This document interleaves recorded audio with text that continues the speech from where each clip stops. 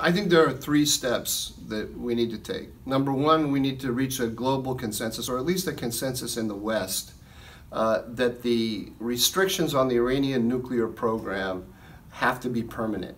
That the, the, the, the fundamental flaw in the JCPOA, the Iranian nuclear deal, was that was that uh, after about a decade, the most significant restrictions on the program were going to evaporate. And what that did is it began a, it, it, began a nuclear arms race in the Middle East rather than, than stopping the race, which should have been the, the goal. Uh, the second thing is that we need to, uh, we need to strengthen the economic sanctions against Iran.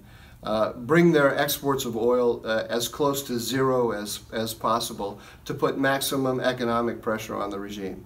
And third, and most this is the most difficult thing to do, we need to develop a model to counteract the uh, Iranian support for Hezbollah around the, um, uh, around the Middle East and, and, and around the globe.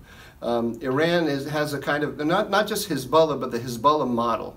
Iran is using militias trained by Hezbollah to subvert regimes in, uh, in Iraq, in Syria, in Lebanon, in, in, in Yemen, and the West has not developed an effective counter to that.